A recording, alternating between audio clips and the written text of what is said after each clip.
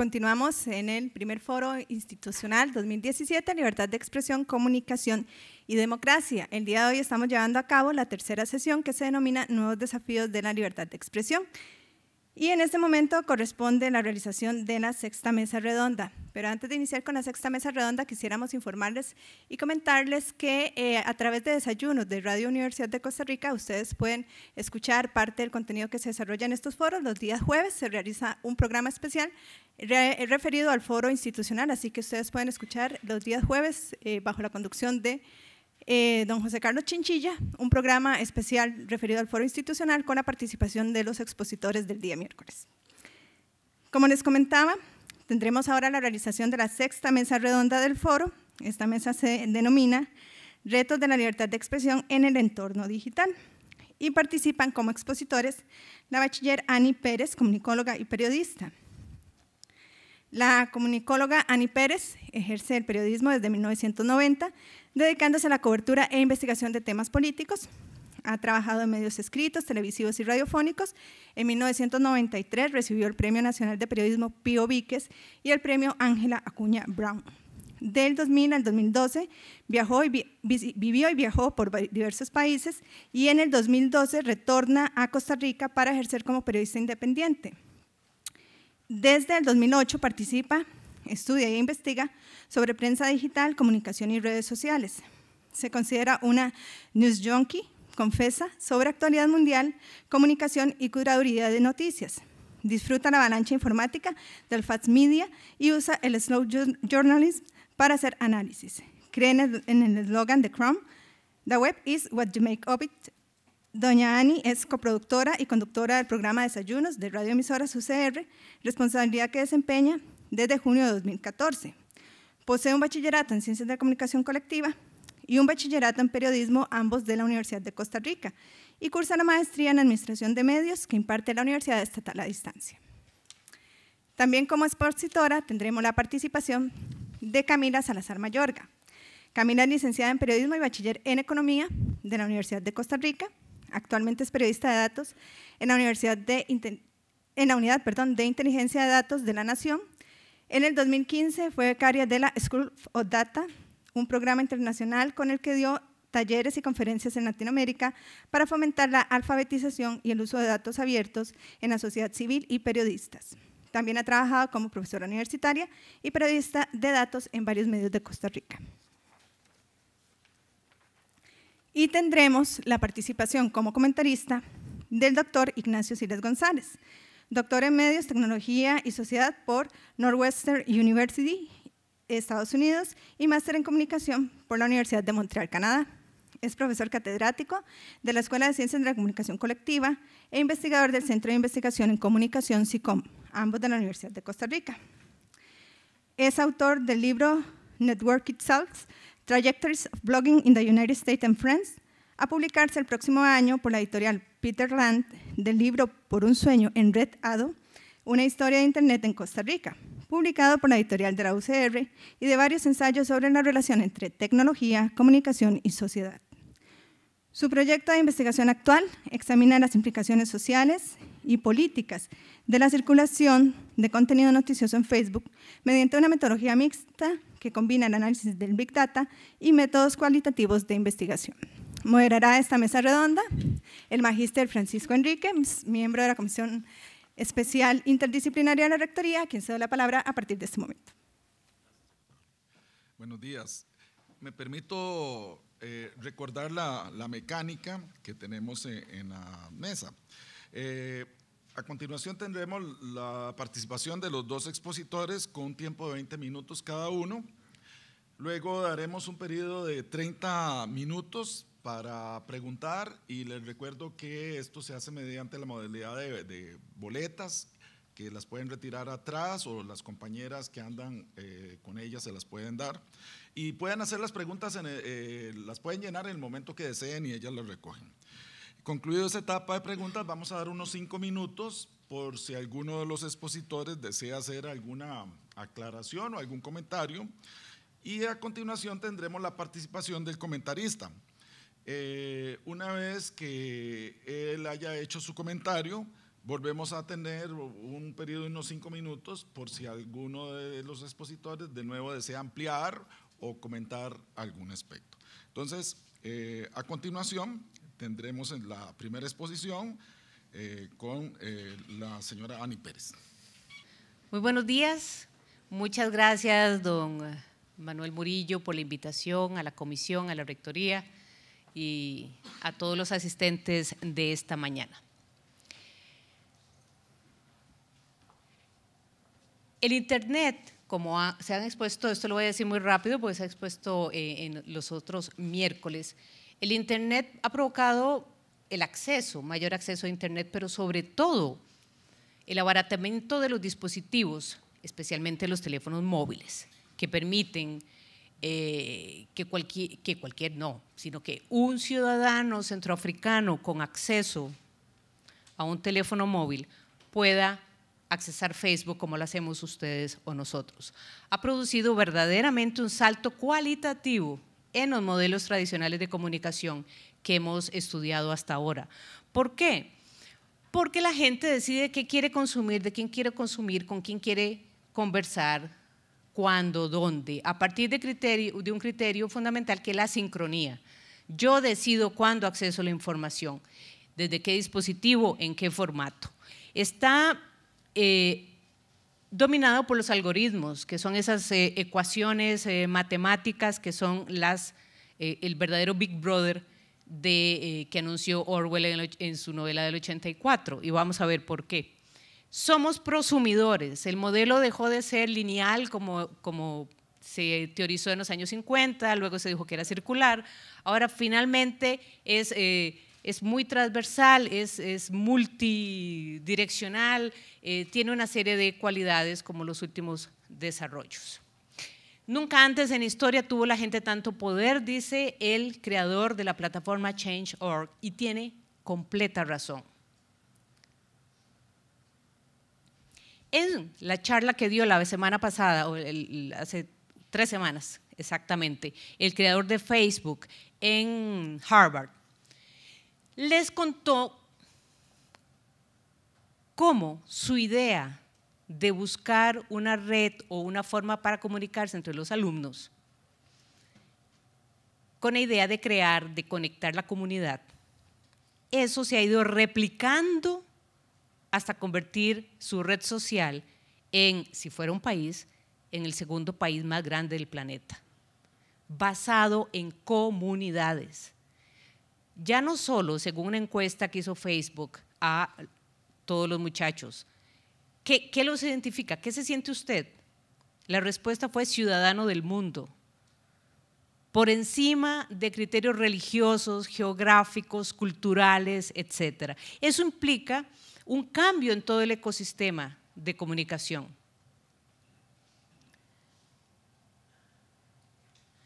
Los algoritmos organizan esas comunidades, eh, llamadas conversaciones.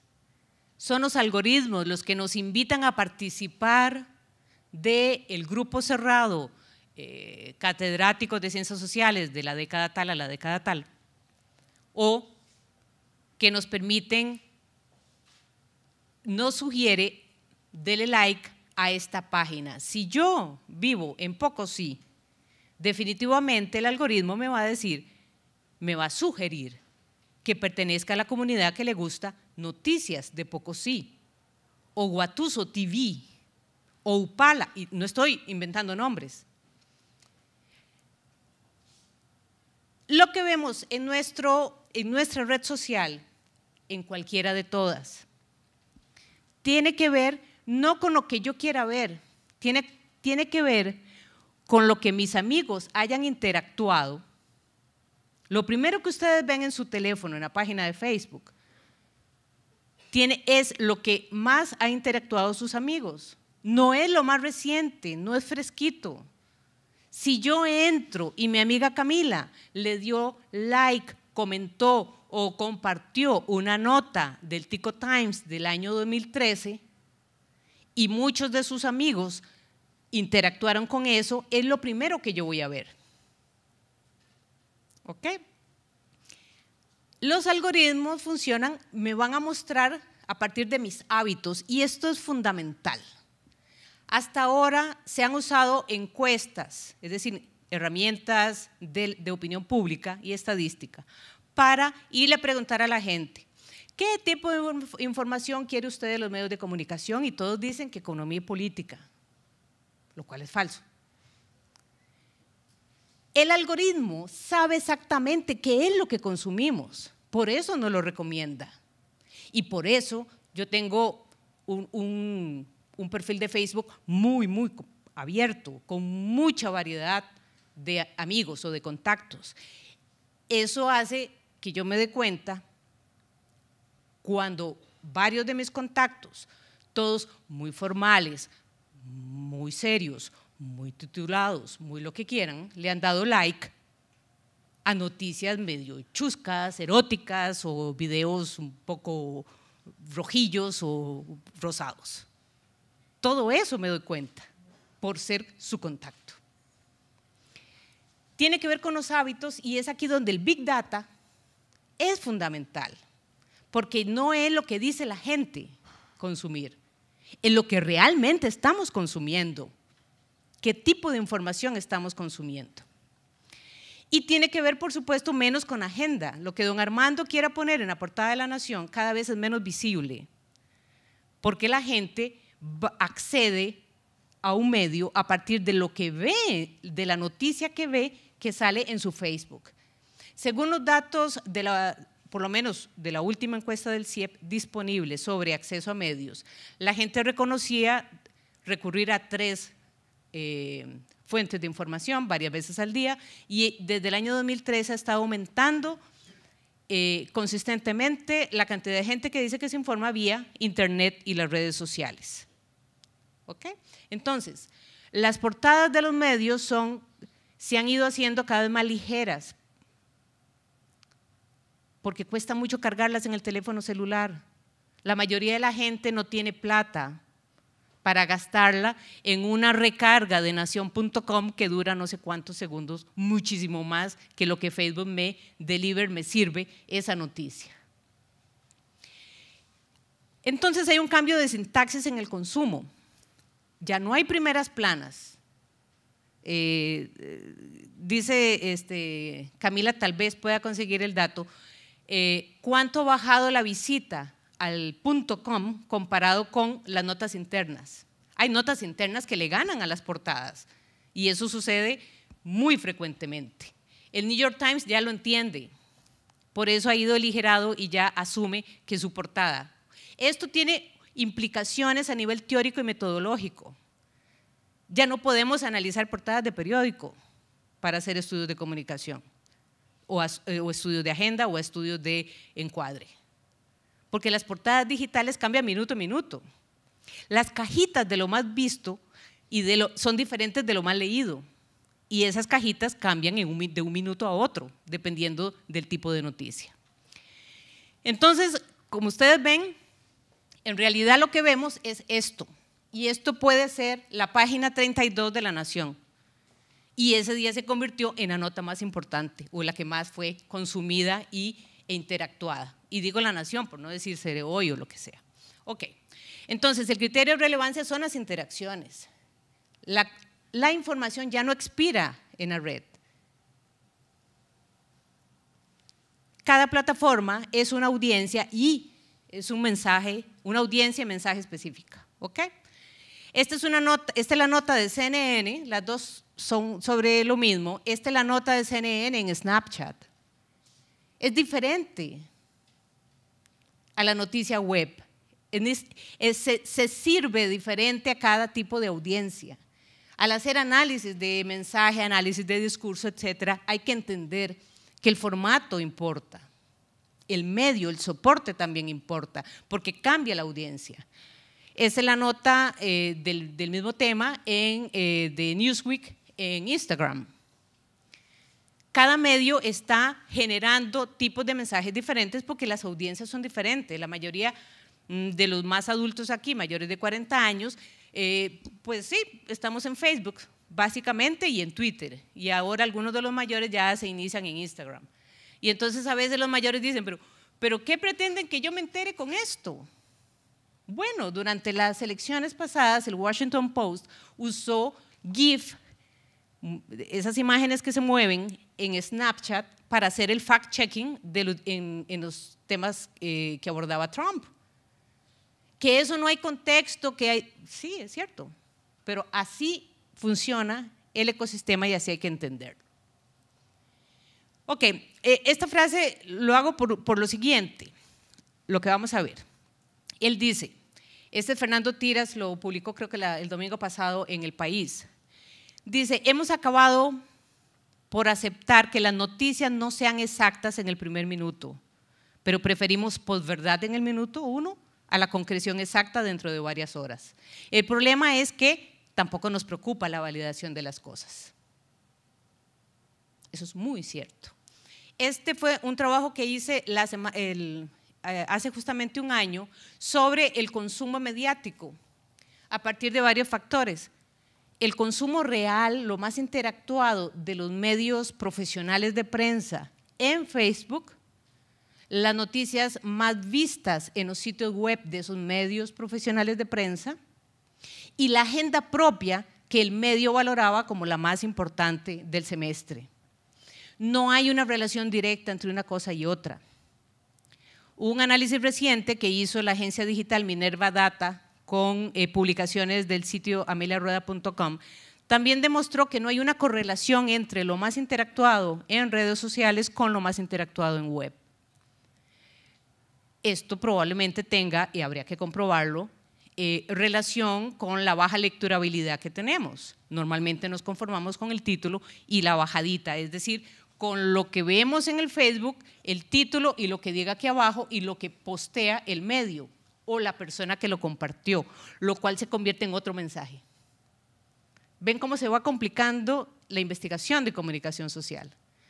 Porque una nota en la web de El Mundo CR es probable que como, como análisis de, discurso sea diferente a lo que postearon en Twitter, lo que postearon en Facebook, en Instagram, pero además el texto del posteo ya genera un mensaje. Ok, ah bueno, acá quería nada más mostrarles, lo mal leído tiene que ver con última hora, es decir, tiene razón lo que decía el señor, estamos ávidos de noticias de última hora, eso ejerce una enorme, enorme, presión sobre los productores de contenido informativo porque queremos saber exactamente la semana pasada fue que asaltaron a una muchacha y la señora lo publicó en Facebook. Un asalto por la noche en la UCR.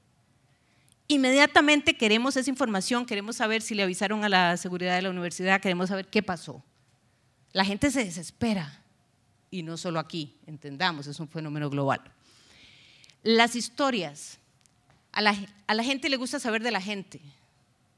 Para alguna gente eso significará ser vino, pero es es lo que explica los fenómenos detrás del éxito de las Kardashian y de todos los demás, de todos los artistas, y que si Justin Bieber trajo su maldición al Deportivo Saprissa o fue simplemente que a partir de ahora Saprissa carga el muñeco de Cartago o qué.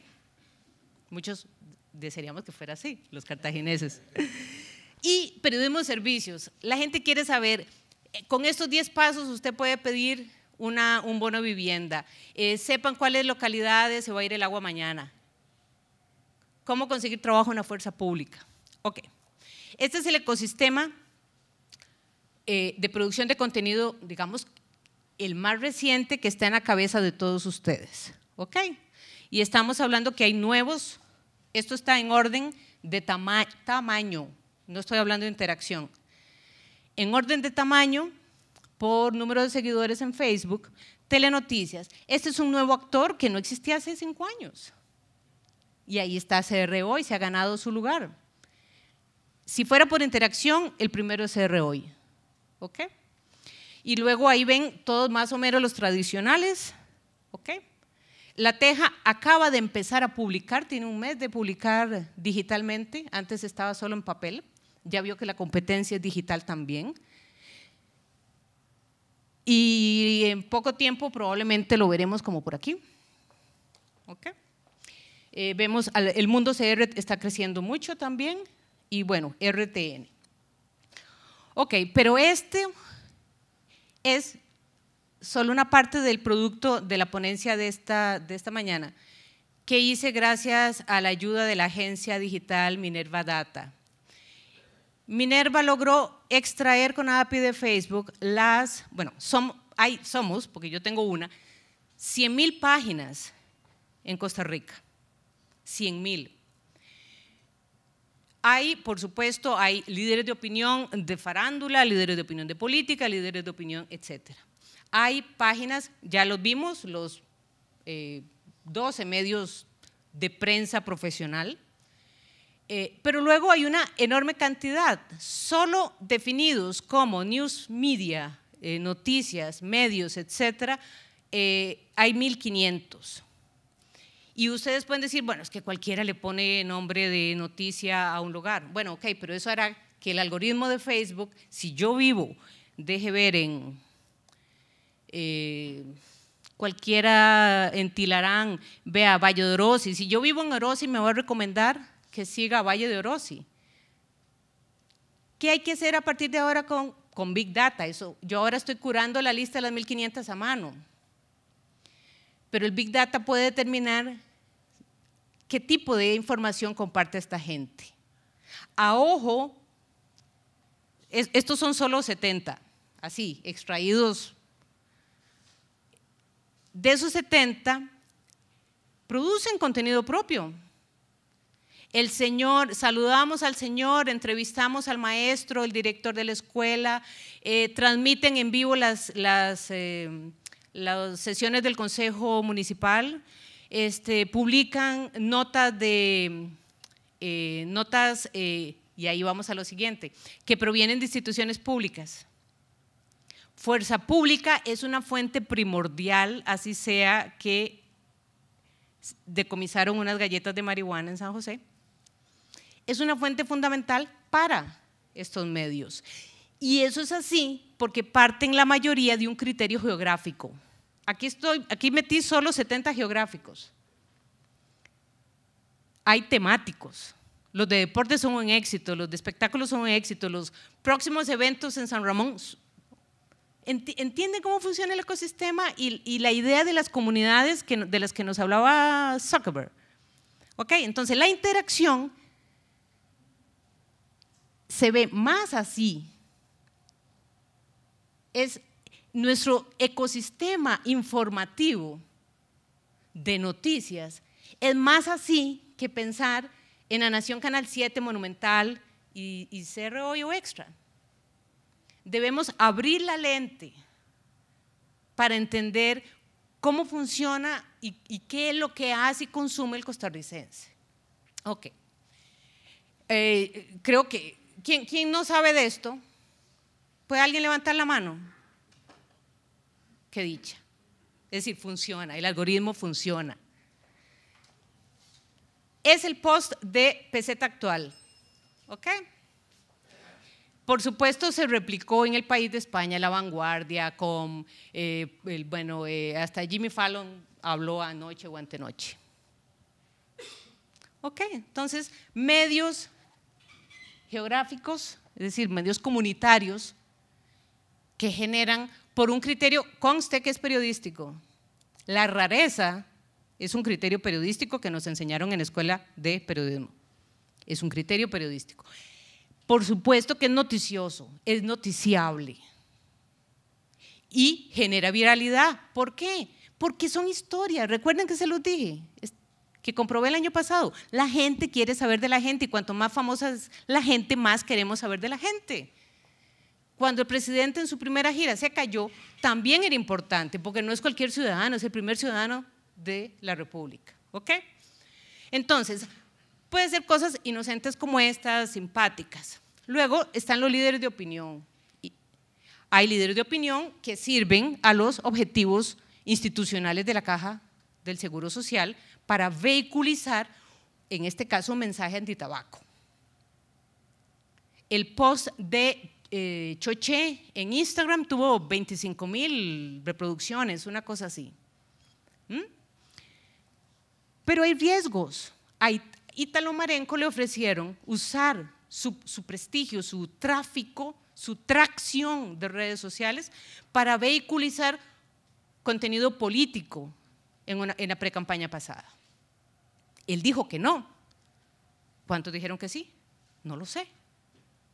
¿Cuántos medios de esos pequeños comunitarios no son permeables también a ese tipo de cosas? Un caso, y lo voy a mencionar, eh, de un medio pequeño que publica una información de un arresto que realmente nunca sucedió. Eso es peligroso. ¿Y por qué es importante? Ok. Ah, en el norte todos conocemos em, eh, colegas que tienen medios. Conocemos que Marcela Delgado, la colega de, que trabaja en Canal 9, tiene San Carlos Digital. Conocemos nosotros, periodistas, conocemos medios de colegas. Sabemos que eh, Miguel Muñoz está en Guanacaste, eh, que está la voz de Guanacaste, por supuesto, ahora, que, está, que hay varios colegas que AM Prensa desde Adrián Mesa, y lo sabemos con nombres y apellidos. Ok. Eh, don, don Alan tiene su tracción en el norte. Él fue corresponsal de medios, pero no es periodista, digamos, profesional. Aquí no tenemos colegiatura obligatoria, todos jugamos en el mercado. Eh, tiene una forma de, hacer sus posts promocionados diferentes, digamos, a lo que haría un medio de prensa profesional, pero ok. Eh, este caso de un influencer lo, salgo, lo, lo traigo, que tiene mucha atracción el señor, pero él publicó una foto que ningún medio profesional de prensa podía publicar, porque los demandan porque Noticias Repretel y Telenoticias están cargados de pequeñas demandas de imputados o sospechosos a los que se les vio durante una fracción de segundo una oreja y solo él la tiene, entonces la gente iba a saber que era él. Y se plantean las demandas. Un medio profesional de prensa no publica esa cara.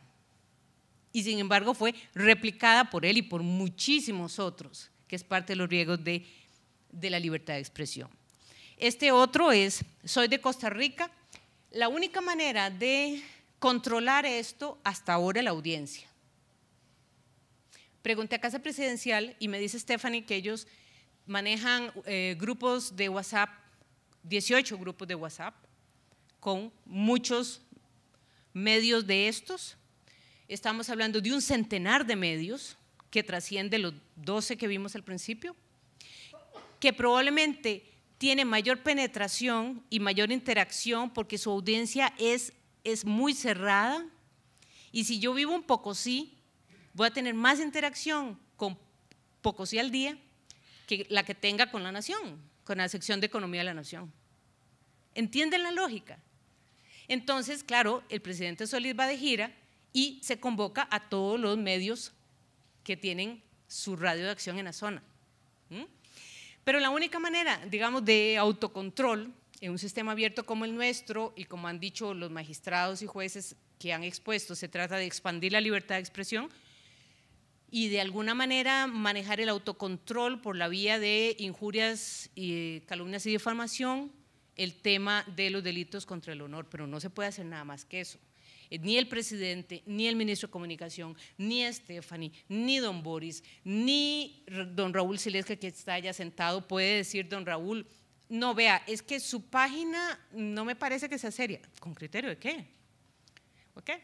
Entonces, hay riesgos. Esto pasó el fin de semana. El Mundo Escazú publicó, transmitió un allanamiento y lo agredieron. Él dice que no se va a callar, ¿Y qué significa eso? Que no va a proteger. Entonces, el peligro de estos eh, sitios y de cualquier otro son las noticias falsas. Y esa es mi reflexión sobre el autocontrol y sobre lo que debemos hacer. Yo me pongo en los zapatos de la prensa profesional. Muchos de ustedes desde la academia. Debemos hacer un enorme esfuerzo por la alfabetización. Lo único que va que controla el mercado no es un Estado diciendo usted si es medio, usted no es medio, usted es periodista, nadie puede hacer eso, eso limita la libertad de expresión. Es alfabetizarnos, investigar con el foco bien abierto para entender lo que sucede y ayudar a alfabetizar a la población. Y tomar, invitar a todos esos medios, y aquí está Ariana de Siembra Media, que podría ser una estupenda labor, para enseñarle a ese de trespatitos.com cómo hacer periodismo ciudadano. Para enseñarle que uno no sea los límites éticos, pero también eh, personales y cómo uno no se mete a, cara pelada a cubrir un allanamiento donde lo están viendo los chicos malos. Y ah, las noticias falsas, para terminar, tienen que ver con información fabricada, parcial, datos no verificados o información satírica, que es por antonomasia una noticia falsa. Y eh, los ticos, los mexicanos, esto, ustedes saben que tiene dos millones de seguidores, el de forma. Y la gente, es que la gente, la gente confunde, porque están hechos para confundir. Ya saben lo que pasó. Y, cierro ya con esta. Ya terminé. Ok. Cierro con esta. Eh, las noticias falsas confunden a la ciudadanía. Algunos se hacen por broma o se hacen con dobles y terceras intenciones, pero confunden a la ciudadanía. Así es que debemos siempre hacer un esfuerzo desde el fact-checking de enseñarle a la gente a pensar un poquito y a revisar antes de compartir. Son, las falsificaciones son pero exactas en muchos casos y es muy fácil en, un, en una pantalla de teléfono pequeñita caer en el error y compartir noticias que no son ciertas. Muchas gracias. Bueno, buenas, buenos días. Mi nombre es Camila Salazar, yo soy periodista de datos y actualmente trabajo en la unidad de periodismo de investigación del diario La Nación. Y lo que quiero compartir con ustedes hoy es hablar de cómo el periodismo de datos o una forma diferente de hacer periodismo que tratamos de hacer nosotros puede ayudar, a, puede ser una herramienta para ejercer la libertad de expresión, para exigir transparencia a las instituciones y también para crear credibilidad con nuestras audiencias en este contexto que Ani nos describió muy bien de la comunicación en este entorno digital. Para iniciar, hablar un poco del contexto, que creo que Ani lo resumió muy bien, pero básicamente hoy en día nos enfrentamos a que hay una ruptura eh, del monopolio de los grandes medios de comunicación como únicos espacios en donde eh, se generan noticias, se generan contenidos y en donde la gente puede informarse y expresarse. Hay una democratización del espacio. Este, o sea, ya no es la nación, el financiero y Teletica haciendo noticias, sino que tenemos un montón de medios más y no solo eso, sino que los mismos espacios de redes sociales se convierten en plataformas en donde los ciudadanos pueden expresar sus opiniones, pueden generar contenido y eso genera un montón de voces eh, dentro del espacio mediático. A la vez, este mundo digital eh, tenemos una cantidad de información o volúmenes de información a los cuales no nos enfrentábamos anteriormente. O sea, las instituciones, los medios, los ciudadanos producimos información a velocidades muchísimo más rápidas de las que sucedían hace 20 años. Y además tenemos tecnologías que nos permiten procesar esa información y sacarle un mayor provecho. Y a la vez tenemos audiencias que pueden o no ser más exigentes y creo que eso es un punto de discusión. Pero también, digamos, dentro de toda esa, audiencia que le gusta consumir noticias falsas o que no sabe diferenciarlo, también hay audiencias más críticas y que exigen cierto tipo de contenidos. Entonces, en ese contexto, surge el periodismo de datos, que si bien es cierto, no es algo que nació ayer o que nació hace 10 años, eh, es, un tipo de periodismo diferente en el que básicamente lo que hacemos es utilizar las mismas herramientas que utilizábamos, eh, que hemos utilizado siempre, fuentes, entrevistas y demás, pero nuestra principal fuente de información, y por eso se enmarca muy fuerte dentro de este contexto digital, es que utilizamos bases de datos esas bases de datos digitalizadas las analizamos con métodos científicos propios de las ciencias sociales, de disciplinas científicas, y esto con el objetivo de crear conocimiento, historias de interés y de crear impacto en la opinión pública. Y es básicamente, cito a Philip Mayer, que es un maestro del, periodismo de precisión, eh, que es básicamente eso, o sea, expandir la caja de herramientas y eh, sacar un mayor provecho de este entorno digital. Sin embargo, en el ejercicio, digamos, al, hacer periodismo de datos actualmente, también nos enfrentamos a muchos retos en cuanto a acceso a la información y eso es de lo que quiero conversar. El primer reto es que, si bien es cierto, hoy en día estamos produciendo muchísima más información, las instituciones generan muchísimo más contenido, más información no significa más acceso. Y eh, cuando hablamos de digitalización de la información, si queremos como ciudadanos, como periodistas, sacarle un mayor provecho, necesitamos la información en ciertos formatos. O sea, no tiene sentido estar generando información en papel en el 2017 o estar generando un montón de cajas de archivos de informes institucionales si podemos y tenemos las herramientas tecnológicas para crear la información o sistematizar la información en otros formatos. ¿A qué me refiero con formatos no accesibles? Este, hace unos meses estábamos planteando un trabajo sobre eh, una investigación sobre los incentivos salariales en el sector público. Y si bien era un tema que se ha tratado en la prensa de, de muchas formas, con muchos enfoques, lo que queríamos era una forma de sistematizar todas, en una base de datos, la información de cuáles eran los puestos, cuáles eran los salarios, cuáles eran los perfiles profesionales, cuáles eran los incentivos a los que podía acceder ese perfil profesional. Y cuando nos fuimos a las instituciones a buscar esa información, nos encontramos en que, uno, la información estaba completamente dispersa y que estaba en formatos no accesibles. Entonces, no había una base de datos dentro de las instituciones, al menos en forma abierta, en donde nosotros pudiéramos encontrar esto, sino que lo que había eran PDFs en donde manualmente y con algunas herramientas digitales tuvimos que ir extrayendo la información. Entonces, un PDF donde estaba la información de cuál era el puesto, cuál era su salario base, cuál era la anualidad, y después ir por otro montón de PDFs a buscar, bueno, para ese puesto que tiene este código, entonces estos son los requisitos. Y después para estos requisitos, entonces ese puesto le aplican todas estas profesiones. Y eso fue un trabajo manual este, que tomó bastante tiempo y que entonces uno se pregunta, bueno, o sea, si estamos hablando de un entorno digital, ¿por qué a las instituciones les cuesta tanto tener la información sistematizada de una forma así? Que fue al final lo que tuvimos que construir. Pero que esto es costoso en cuanto a tiempo, es eh, riesgoso en cuanto a errores que pueden surgir del proceso y que además, digamos, eh, si uno no lo hace, entonces, ¿quién, ¿quién lo hace? Y entonces creo que es un esfuerzo ciudadano al que nos enfrentamos. Ahora, tenemos información accesible pero de poca utilidad o desactualizada. Y creo que eso se discutió un poco en el foro anterior, en donde si bien es cierto, y creo que de reconocer que este gobierno ha impulsado eh, con mucha fuerza las políticas de gobierno abierto, o sea, hay una política, se está trabajando en una política para abrir datos desde las instituciones. Si uno entra, por ejemplo, hoy al sitio de datos abiertos del gobierno, se encuentra información que realmente no es, o, a mí me surge la pregunta, bueno, yo como ciudadana no siento que es la información que nosotros estemos necesitando. ¿Y a qué me refiero con esto? De que uno ve y entonces se encuentra ejecución presupuestaria del 2015 o una tabla que habla de factores que han obstaculizado la innovación en el sector empresarial en el 2013. Y entonces, más bien lo que parece es que esa información antojadiza este, que no hay una reflexión institucional de, bueno, cuál es la información que los ciudadanos necesitan, que esté sistematizada de forma que le saquen el mayor provecho. Y que creo que es algo que hay que trabajar. Este es otro ejemplo que es reciente, em, que es el mapa de obras que lanzó la administración Solís, que era un mapa en donde eh, se visualizaban todas las obras de infraestructura eh, que se habían hecho en el país durante estos últimos tres años.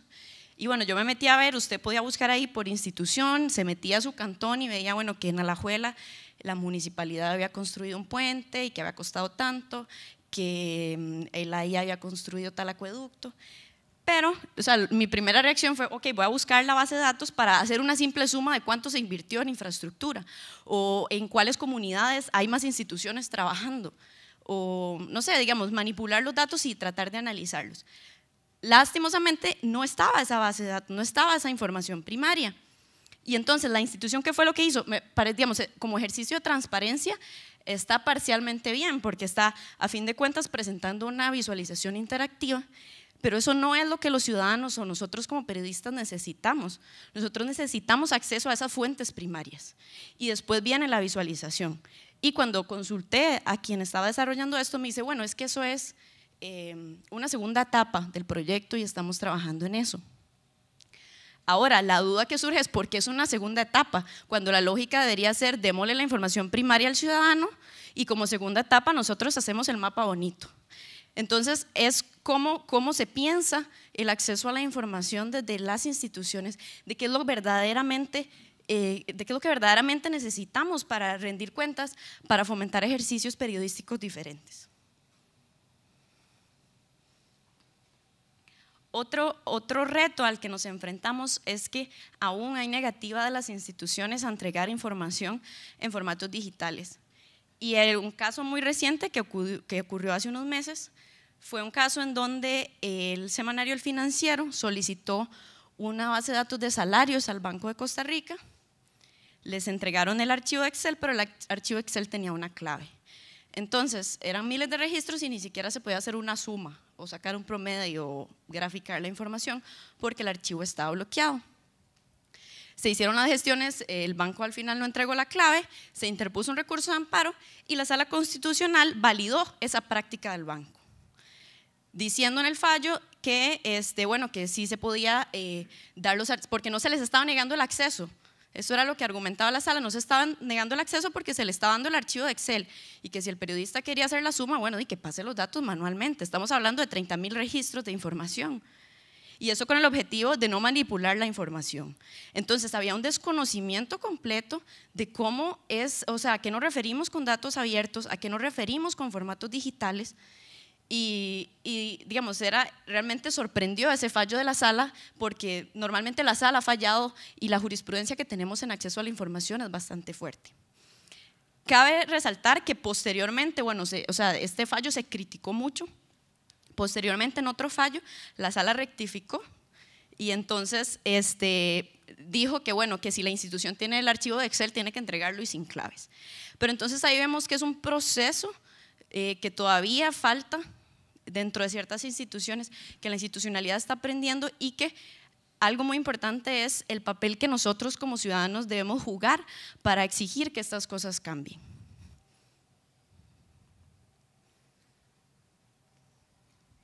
Otro reto es hablar de nuevos perfiles profesionales. Cuando hablamos en el, en el mundo digital y para sacarle el mayor provecho a la información, creo que la profesión de periodista se puede quedar corta y entender la, profesión como la entendemos históricamente. O sea, creo que estos volúmenes de información eh, o la forma de presentarle a la audiencia, o sea, como periodistas o nuestra formación como periodistas se puede quedar corta. Y por eso es súper importante y es esencial que podamos incorporar a nuevos profesionales, a que se incorporen, puede ser dentro de la misma sala de redacción, puede ser desde de iniciativas ciudadanas, este, que se incorporen en este movimiento de datos abiertos, que exijan eh, la transparencia de la información y, que trabajen en la producción de contenidos. Un ejemplo de esto, yo en la unidad en la que trabajo no somos solo periodistas, somos tres periodistas, pero trabajamos con un diseñador, trabajamos con un programador y eso hace que nuestros contenidos, o tratamos de que nuestros contenidos sean diferentes.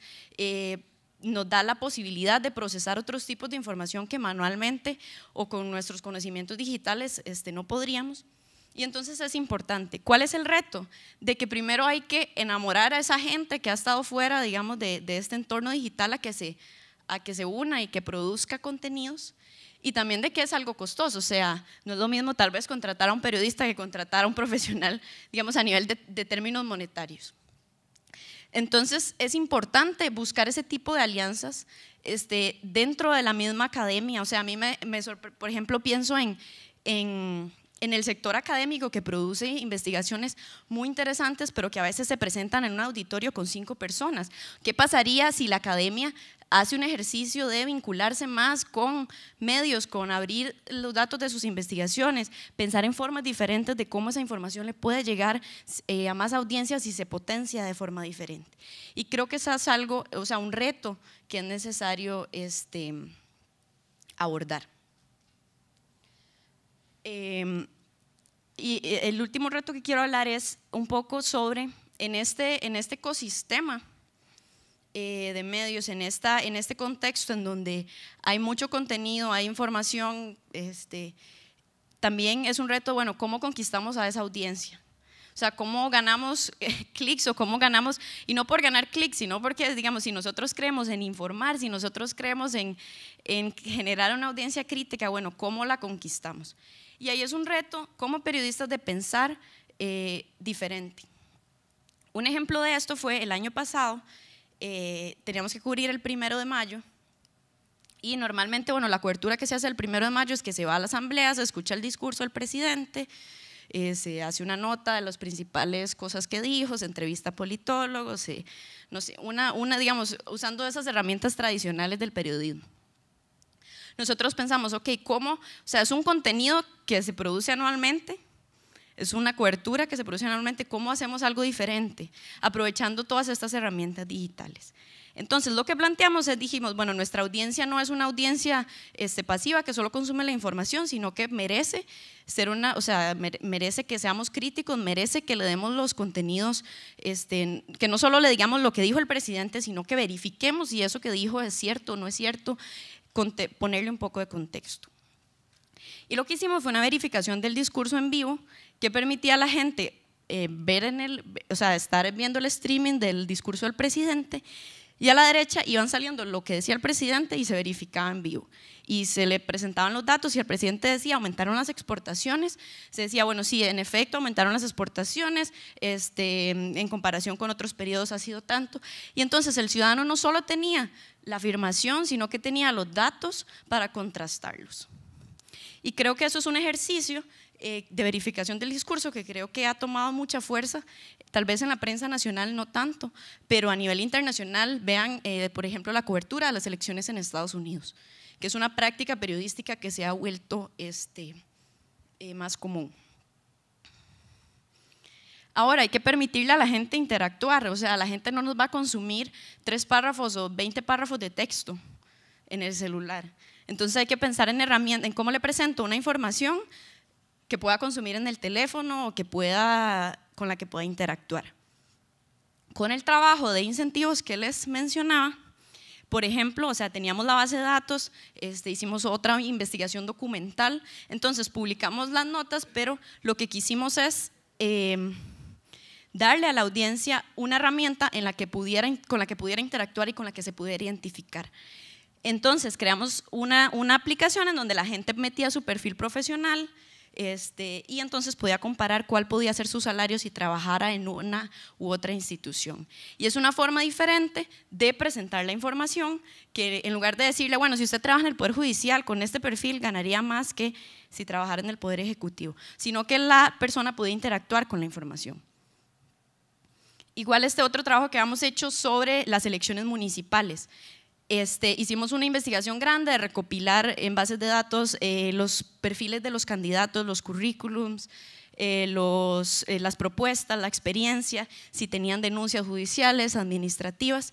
Y al final de cuentas, lo que creamos fue una aplicación igual donde la gente podía buscar a su candidato, podía verificar si tenía algún tipo de denuncias, podía descargar los datos, eh, podía este, ver los currículums, las propuestas. Entonces, es una forma, en, en como le damos la información a la gente, en donde tratamos de que sea diferente y de que no solo sea digamos, de que no solo sea texto no solo sea, digamos, lo que nosotros queremos que la gente lea, sino que tenga la posibilidad de interactuar con esa información. Y ya para cerrar, y creo que es algo clave y que es lo que nosotros tratamos de hacer siempre o casi siempre, digamos, dependiendo del trabajo, es que si nosotros como periodistas, como ciudadanos, exigimos transparencia a, a las instituciones, exigimos que nos den la información en formatos digitales. Lo mínimo creo que podemos hacer como periodistas es actuar de la misma forma con nuestras audiencias.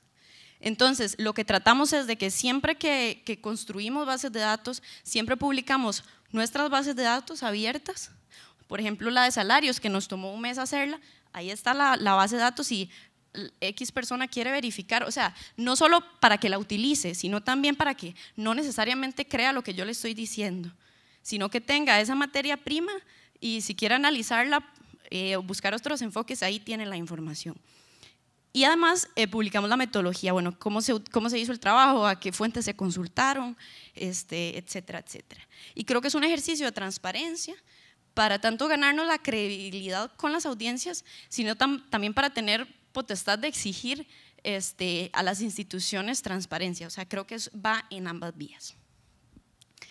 Entonces, o sea, para cerrar, esa, creo que es precisamente mi reflexión, o sea, en, el, área en, la que me desempeño, o sea, nuestro principal objetivo es em, aprovechar al máximo estos contenidos digitales, pero que a la vez necesitamos que las instituciones entiendan cuál es la información que los ciudadanos necesitamos y que si no está disponible, pues nosotros tenemos el trabajo de construirlas y de transparentarla y de ponerla accesible a la gente. Entonces, bueno, creo que es algo en lo que se tiene que trabajar, que es un reto, pero que vale la pena que discutamos. Muchas gracias. Eh, muy buenos días y muchas gracias a Ani y a Camila por las presentaciones. Gracias también a Manuel y al comité organizador por la oportunidad de comentarlas. Eh, yo quisiera como aprovechar este espacio de comentario para añadirle algunos datos a la conversación. Quisiera como complementar lo que se ha dicho complementar, digamos, como dos formas. La primera, proveyéndole algunos datos, proveyendo un fundamento más empírico, porque yo creo que en este mundo de Internet y redes sociales, lo probable y lo posible no son siempre lo mismo. Hay cosas que son muy posibles, pero los datos nos ayudan a ver cuáles de esas son probables en el ámbito, por lo menos, de nuestro país. Y la segunda forma en la que me gustaría complementar esta conversación es digamos, yo creo que mis datos apuntan a un panorama un poquito menos entusiasta y menos eh, positivo, o más, o, sí, voy a decirlo así, que las dos primeras presentaciones. Entonces, creo que también esa perspectiva es, es, sana para tener un debate sobre los verdaderos alcances que pueda tener esa tecnología en el marco de la libertad de expresión. Entonces, básicamente lo que hemos venido haciendo eh, como parte de un proyecto de investigación en el Centro de Investigación en Comunicación es capturando mediante técnicas de Big Data algunos datos que provienen de Facebook, específicamente el contenido noticioso que está circulando en Facebook en la actualidad. Eh, entonces, me gustaría compartirles como cinco tendencias que se desprenden de esos datos que me parece y pueden ayudarnos a poner en perspectiva este debate. Por un momento estuve tentado a ponerle a la charla como las cinco cosas que usted debería saber, eh, pero no me animé, me faltó me faltó, me dio miedo que no me volvieran a, invitar. Este, la, primera, la primera cosa, la primera tendencia que me parece importante señalar es que, digamos, hay una brecha entre lo que los sitios están ofreciendo, los sitios tradicionales, medios de comunicación del país están ofreciendo y lo que las audiencias eh, quieren. No es como enteramente sorprendente, pero al menos mediante esta investigación pudimos ponerle algunos números a esa diferencia. Eh, es como una forma muy bonita de decir, la gente quiere más sucesos de lo que le están dando. Entonces, para llegar a esta conclusión, lo primero que hicimos fue dividir absolutamente todas las noticias que nos encontrábamos en, en esta primera parte en sitios web, y ya voy a argumentar porque creo que analizar portadas sigue siendo relevante, las dividimos en dos grupos. Las primeras son cuáles son asuntos públicos, que en el papel son las noticias que nos ayudan a nosotros como ciudadanía a tener una conversación informada sobre lo que está eh, ocurriendo en el país, digamos que inciden en nuestra vida colectiva, eh, en las cuales ubicamos noticias sobre política, gobierno, el acontecer del país, este, salud pública, economía, etcétera, etcétera. Y un segundo grupo donde, además de Keylor Navas, que en Costa Rica pareciera que requiere una categoría aparte, están todas las, demás cosas que desde luego pueden tener importancia, pero no necesariamente contribuyen a nuestra formación de, esfera pública. Ahí pusimos deportes, sucesos, crímenes, etcétera, entretenimiento, que también ha crecido mucho, etcétera, etcétera. Entonces, e, esta división la hicimos no solamente en función de dónde sale publicada la información, sino también en términos del enfoque que recibieron estos temas. Por ejemplo, la noticia de Luis Guillermo Solís, si consume o no eh, avispas o si cambia sus hábitos alimenticios en función de eso.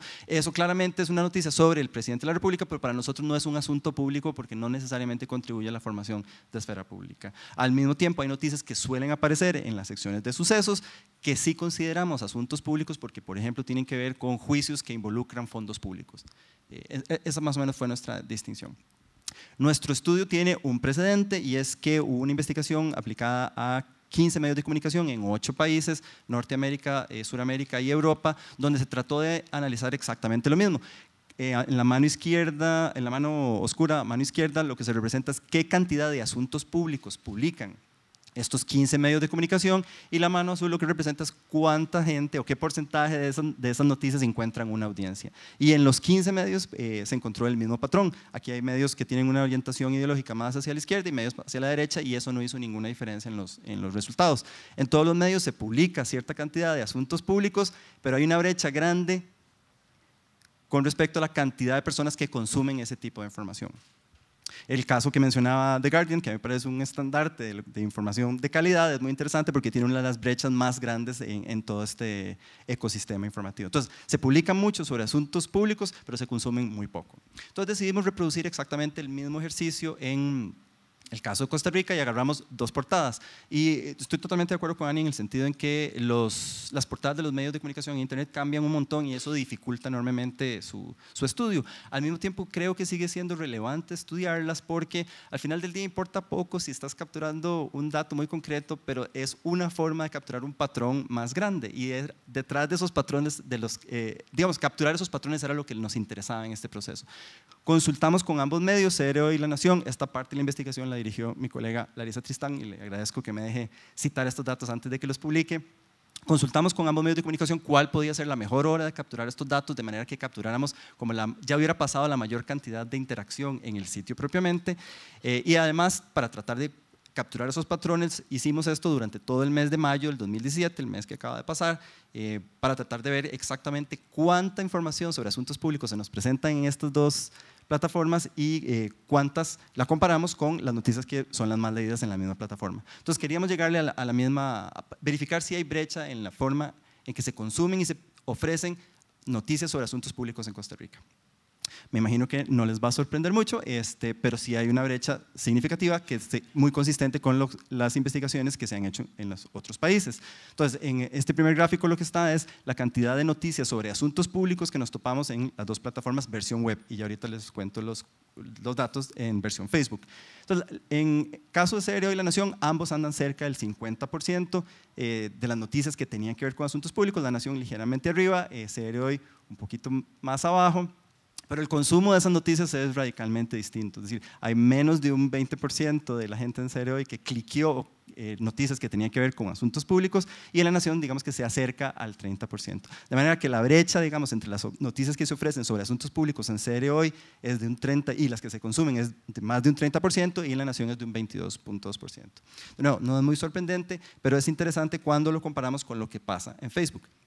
Entonces, la siguiente cosa que hicimos es ver hasta qué punto esos datos o esas tendencias en el consumo de contenidos sobre asuntos públicos permanecen en Facebook o más bien bajan. Y eh, lo que nos encontramos es que la brecha baja, pero eso que podría parecer una muy buena noticia es, todo lo contrario porque no baja porque la gente esté consumiendo más noticias sobre asuntos públicos, sino porque se ofrecen muchísimos menos asuntos públicos en, en, Facebook. Es decir, que la agenda de los medios se suaviza, por decirlo así, cuando pasa de la web a redes sociales. Esto nada más una, digamos, un paréntesis metodológico, cómo fue que procedimos con esta parte del análisis. Capturamos mediante el API de Facebook, extrajimos todos los datos de varios medios de comunicación. Ahorita les estoy reportando los seis que hicimos el año pasado, más mayo de este año.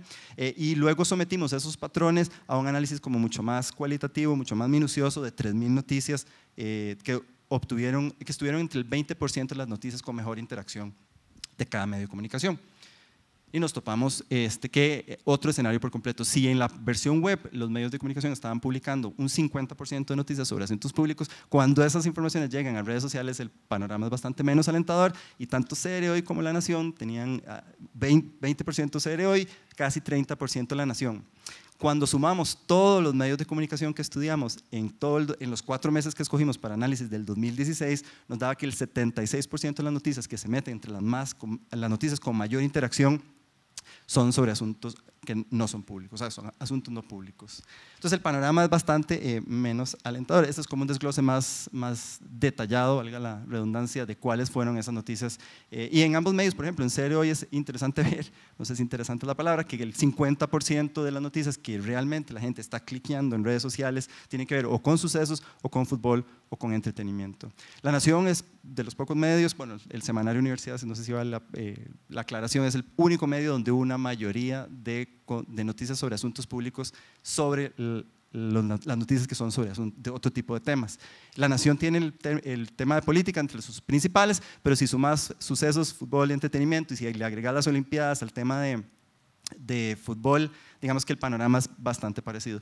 Hay otro dato interesante y es que en algunos casos eh, el consumo de sucesos, entretenimiento y deportes en la nación supera el de la extra, por ejemplo. Entonces hay, hay, algo más que algoritmos en este fenómeno, hay algo más que lo que la tecnología te permite ver y es lo que la gente quiere leer. Y en eso el panorama parece que es bastante menos eh, revolucionario.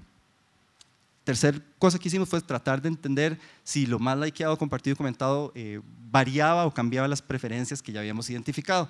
Eh, quizás lo único que nos pareció más sorprendente es que lo único que le gana a Keylor Navas en, atención eh, en redes sociales son los temas de los sucesos.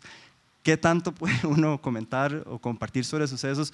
No me queda muy claro, pero mucha gente sí le encuentra sentido a comentar, por ejemplo, los sucesos están siempre entre las dos primeras categorías, las más compartidas, las más comentadas y las más likeadas.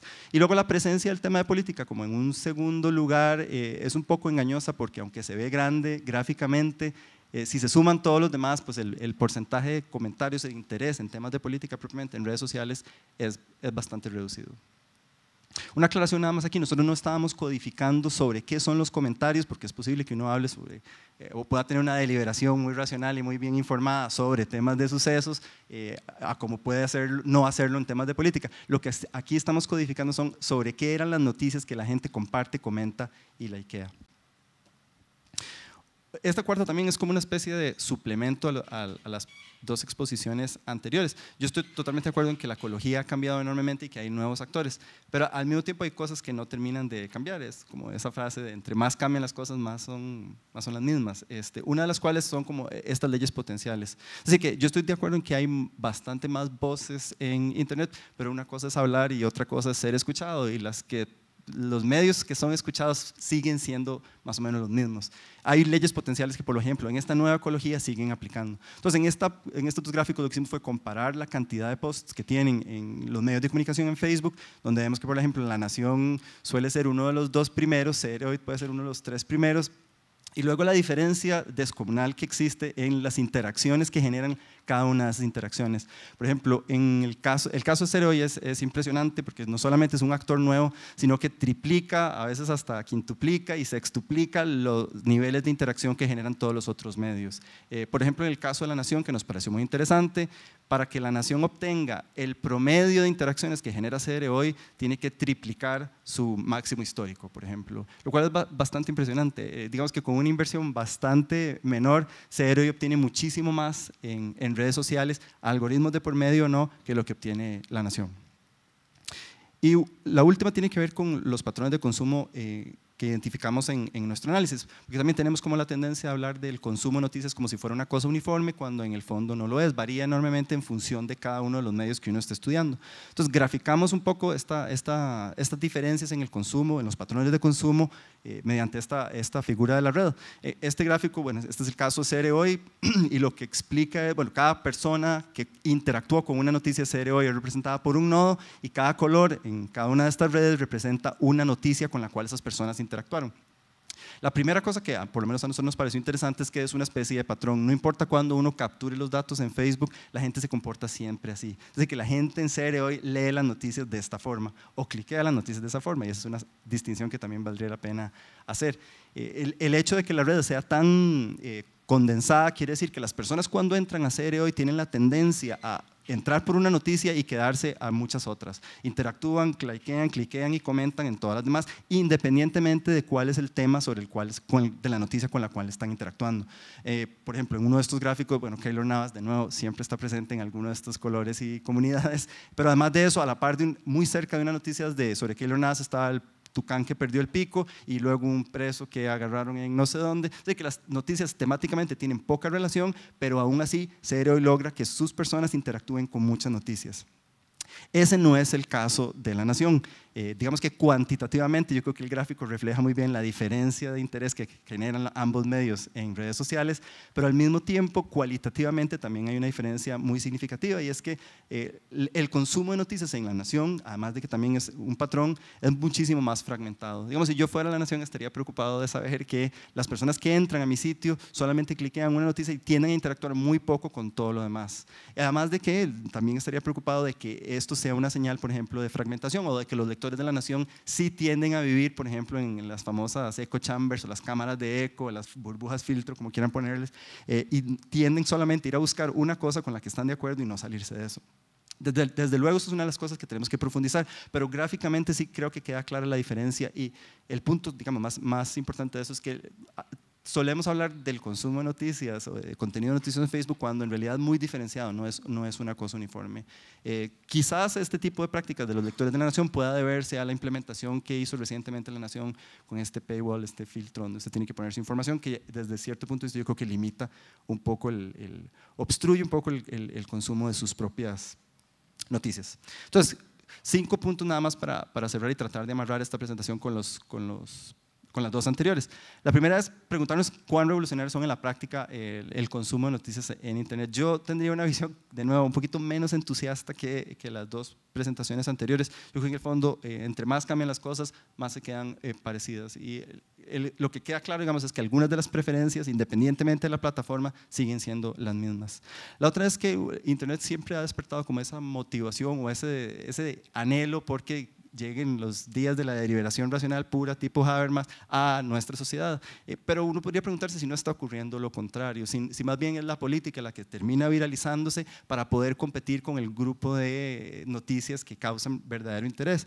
Un, un ejemplo nada más para tratar de ilustrar mi, mi punto. Esas son dos de las noticias más leídas el primero de mayo de este año. La primera, a las 3 de la tarde, creo, eh, era la segunda noticia más leída en La Nación y tenía que ver con la ropa que utilizó el diputado Oscar López y las chancletas que utilizó otra diputada. Eh, esta fue la segunda noticia que, que, de nuevo, es como si para poder informar sobre el tema de política tuviéramos que recurrir a las leyes que explican la viralización de las cosas o a los principios que explican la viralización de las cosas. Es decir, apostarle siempre a contenidos sumamente emocionales, contenidos que, con, con, emociones muy fuertes, porque sabemos que es lo único que de alguna u otra forma va a funcionar en redes sociales. La de la derecha, la persona que acompañó a Otto Guevara al primero de mayo, fue la segunda o tercera noticia más leída de hoy ese día e ilustra el mismo principio. Las fotos de arriba no, no son escogidas aleatoriamente, creo que es la típica foto que aparece en serie hoy publicada cuando se habla de Luis Guillermo Solís y lo de la avispa ya le dieron otro, otro material de, de publicación.